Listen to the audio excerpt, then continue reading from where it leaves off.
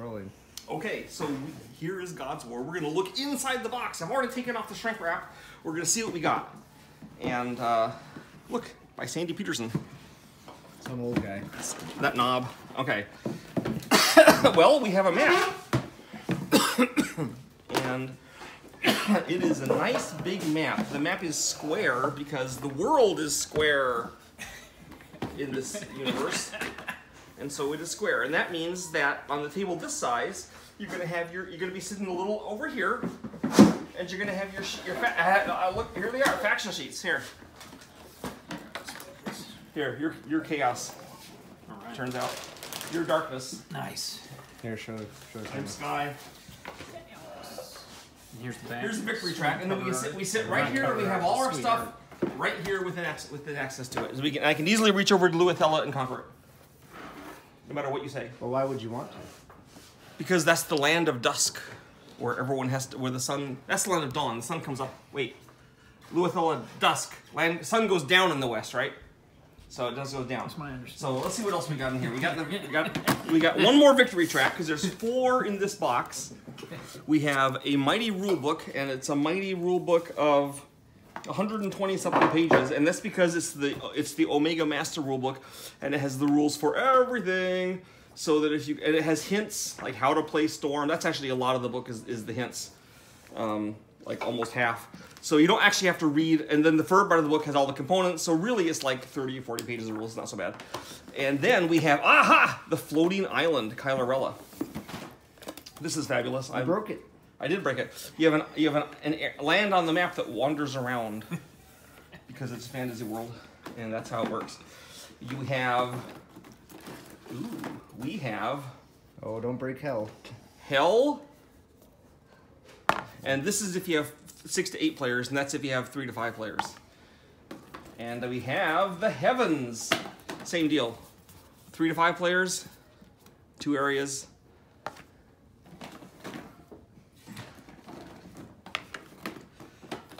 Sheet. Oh yeah, hint, hint cards, tons of punch boards, but beyond the punch boards, look at the figures. Look at this. Look at this honey. Waha. Who's chaos? Me. Look. Get some that- jollies just that looking at this bit. That's Fed. And look, here's the wonderful Man God. the Mad God. And here is are you darkness? There's I your hot mama. Oh my God. Actually, your cold mama, I guess it is. Amazing. And here are a bunch of cards. Ah, these are the runes. Like a rune cards. Uh, here are a bunch of dice. Now, I am told by Arthur. Who, who doesn't want to worship chaos after Yeah. looking this So, so, so, hey, get the camera over here. I'm, I'm looking Oh. at these things, and you're not, you're not, you're missing it. Look, here are the awesome. I uh, well, you didn't see these, the runes. Oh, the runes. Look The runes. cards. There's the runes, a bunch of cards. And then here's the dice. Now, I will say that uh, in my version here, because it came so early, the dice were made in a different factory. The actual cool dice, not the well, you know, the battle dice.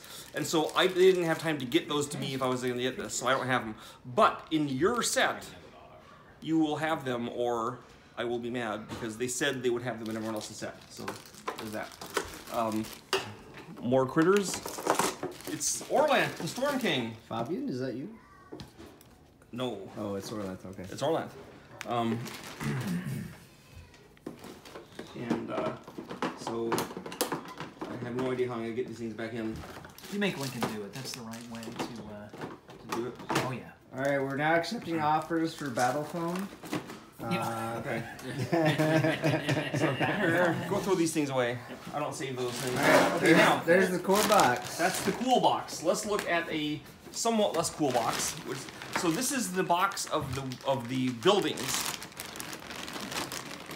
And it has all the buildings for all eight you- civilizations. You put them all over the heavens. Yep. Oh, no, the, oh, that's all in hell. Okay. It doesn't matter. Okay. And so here's and and so here is the ziggurat of darkness, and here is the castle of lead of darkness. That Hold is. On, we'll look at that. In that is that is the the tower that the wizards build when you're playing the the uh, Why does the tower have a tuning fork at the top? Um, because if it had a single point, then you would stab on it, step on it, and it would stab through your foot. And so I made them do that so that you would not kill yourself by falling onto your own pieces. And here's That is actually a safety blood. feature. this one you're on your own. This one is going to kill you. but it's the darkest one, so it makes sense. See, this is safe though. You can step on that. I like the wizard's towers. And this one is hurts about like a Lego, you know, so it's not cripplingly dam- damaging, but it's not fun. And uh, and look at that. Here's water, and here's Invisible God, and you can totally tell them apart, even if you're colorblind. Which I am profoundly. Can you tell these apart? I can. It's a miracle. This is brown. Wait, what? I can tell those are different. Okay. two different awesome. shades of brown. Okay. Alright, what next? You wanna do elder races? No, I want to do the the the uh, the, the Empire's box. That's actually the cool one that everyone wants to see. That's here. You heard it here first. That's the cool. No, you, we, we, we, you, no, you said so yesterday when we were unlo- doing the first part of the unwrapping. yeah, I did. You said this is the You awesome heard box. it here second. Let's see what we got in this box. So it what we have in this box is four more empires. So you can have a total of eight empires, and you can totally play it with all eight.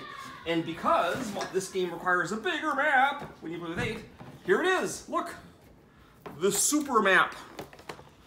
Okay, it's the same size, but it is, but it has more areas. You can see this is the eight-player side, I guess we're and then on supposed the other side is the six-player side. Yeah. flip that around, right? And then you also you flip over the the uh, the the heavens and the and the hell maps. You you just have to remember to flip over because it says on them.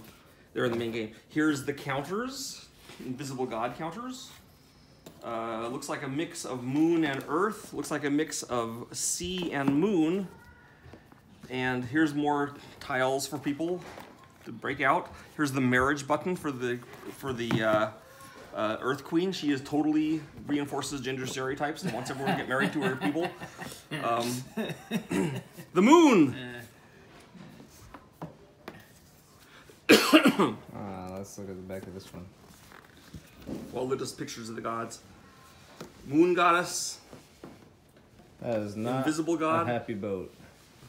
Well, you know, it's, it's hard to be in a mythic universe. And the Earth Titan. And then there's a bunch of more moon. So, because she actually, well, I say she, she doesn't enforce traditional marriage roles because she wants to have all of her queens marry everyone. So there's a lot of polyamory going on. But uh, and then, and I guess actually she may be uh, not do all the gender roles because you can totally marry one of her queens off to the to the other goddesses. So I suppose how do I get this out? This is Very secure. Well, It's a vacuum. well, I think you only have to do this once because then you're gonna throw away the cardboard box. It is a, it's a vacuum and there's a cardboard thing that barely fits. Ah, So just for stability. And this is actually a collectible board game. That every, there's booster Aha! packs. And there's all the pieces. Earth Queens. See, this is the Earth Queen of Sky. So you'd marry her to the to the uh, Sky player if he was in the game. Here's the Earth Queen of the Invisible God. You'd marry that to the Invisible God. amazing. And here's the here's the Kraken. And here are the banana-sized Earth Titans. Woo! They're so big.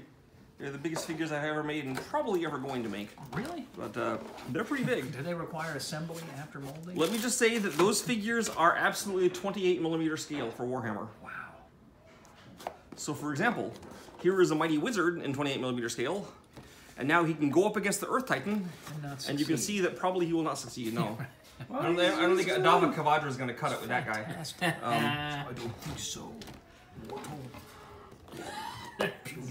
Mortal. Puny mortal. Avada Kedavra, earthquake.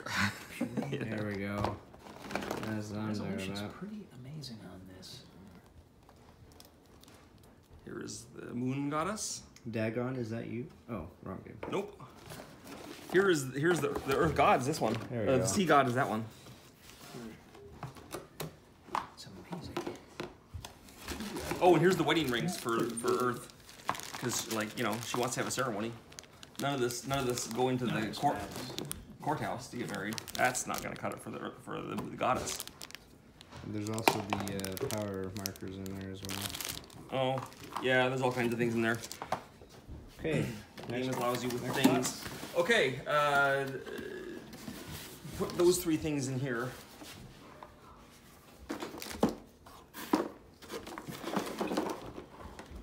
Stuff, put that on the floor, maybe? We'll, we'll just set this down. Okay, elder races. Yeah, These are like the neutrals. And so here's the spell books that some of them get. I don't think we call them spell books though. We call them gifts. Here's their loyalty cards. Yes, who doesn't want the Vadeli gift? Everyone wants it. It's great. Uh-huh. There's the dragon um, evolution marker right there. Dragon evolution marker. And here's the critters. There is the giant. And if you look on his right knee, he has a 28 millimeter scale person or part of a person strapped to it as his armor. Because why wouldn't you? And then the other ones are just whatever. Well, we the have. answer is you would. And uh, like here's a boggle. And two more boggles. And there's dragon, dragon ships in there. And uh, dragonewts over here. Free. Ducks. This, I love this torso. It's been strapped to Sentient ducks, not just yeah, quack quack okay. ducks. Everyone's favorite figure, the Maidstone Archer. Three arms, no head, no weighting. Just how you want your woman, right? Well, I'm No not head. saying that. I'm sure there is someone that to which she would appeal immensely. Um, Yes, a chaos monster probably. she's not chaotic. She fights chaos. I know, but they want A little it. man strapped to his knee like a knee pad. That's genius. Isn't that great? It Yeah, is I love, that was my idea. Um, so next we're gonna open some monsters, and we're gonna open the dragons first because they're the ones you get at the start of the game if you get monsters. Early in the game, at the game start, you get a dragon. While you could do more than one, Petersen Game recommends you only pick one. So, if you pick the Darkness Dragon, you get this one. If you pick the red dragon, not darkness, the black dragon, the black dragon, the red dragon, and the bronze dragon, or the brown dragon, I guess. They aren't metals, but they all have different numbers of legs. So the black dragon has has traditional four legs and two wings, like a like a D and D dragon. This guy has six legs and two wings, and the wings are like paddle-like. And then the uh, the moon dragon has just two legs and two wings, so it has the fewest limbs. Because I wanted the dragons to all look like they had gone down different evolutionary paths. And also the black dragon is all creepy and undeadish. I love it. Because he's like, and the moon dragon is like, looks like it's a caterpillar. And okay, next is the chaos monsters because you get them when the chaos rift opens. Hmm. Oh, the chaos rift is in one of the. I didn't pop it out, but chaos monsters, and there's three of them. There is the Sky Terror, who is totally not a dragon and doesn't really look that much like it. There is the Mother O Monsters, who is the mother, and here's her babies, the little tiny cute babies, the dragon snails. Uh, originally, we were going to do counters for these, but one of the upgrades was to make them be plastic. So look, plastic. Although we have the counters too for some reason, so go figure. Maybe the count, maybe the plastic ones are only for the uh, the Kickstarter. I don't know, but anyway, here's counters. You want to use those. And here, these are all purple because all the chaos monsters they're kind of the color of the purple player, even though they aren't loyal to him and don't work for him. Oh, by the way, here's the purple. So this is the chaos nest. When it starts out, it goes like this. Then when you embed it with the magic power, it flips over and it's like all gross and spiky. And this is this is the uh, one of the cha- my favorite chaos monster. Jeff Richard's favorite monster, right? Everyone loves it. I'll I'll say that for him. It was my idea to have one of them be a girl. It just made sense. Could have been two, but I I didn't, I didn't want it to all be the same gender. Because you know chaos. Can I, can I, can I? Let me see. Let me see. Let me just a moment. You know, if you look at it, you're just you're not gonna be happy because it just it, it keeps it keeps looking worse the more you look at it. Hey, Okay, and finally, the cosmic monsters, and these are their own kind of color. It sort of overlaps with the. invis- These are all made to be silvery or metallic, so they don't really look like the the factions. You can tell them apart. So these, so we have the Leviathan, a giant. These don't appear until the cosmic, the Great Compromise happens. And he's the he's the biggest. give me a Uh, kiss. yeah, he's awesome. And then here's the Juggernaut, which is technically the largest of these, but the figure's not the biggest because this figure is so big that we couldn't do it. It's crushing. It has a city inside of it. So what are you gonna do? This one is so it's that is technically out of scale. That's not 28 millimeter because it's supposed to be like eight miles across. Um, this is correct. This is Androgeus, the uh, an entity who the proper gender pronouns for is he and she alternating. That's how you do it with Androgeus and uh, she spawns monsters wherever she goes and is, is troublesome. All the cosmic monsters, the cosmic monsters tend to um, uh, mess up the game for everyone. All the monsters are everyone's enemy and they mess up the game for everyone, but they mess it up in different ways. Like the chaos monsters imbalance the game, and the dragons are a balancing element. The cosmic monsters are kind of like neutral. They aren't. They just happen when someone does something. So they just everyone. If, if it's picking on you, it's because you were. It would. Life is pain. But if you own this Kickstarter, your life has just become less painful because you have all these awesome things. And I'm really excited. We're gonna play it tonight. The wait's over. But I'm not gonna film it. The wait's over, right? Say the wait's over. The wait. Well, it's over. It's over for me. You guys still have to wait uh, a few weeks for it to get from China on a on a banana boat. But, uh, But I, by paying hundreds of dollars, I was able to get mine earlier. Yes. Um, We'll put that on the next Kickstarter. You Yeah. can pay us two hundred dollars. You can get yours two weeks. we early. probably could do that, um, but I don't think I want to. Okay. All right.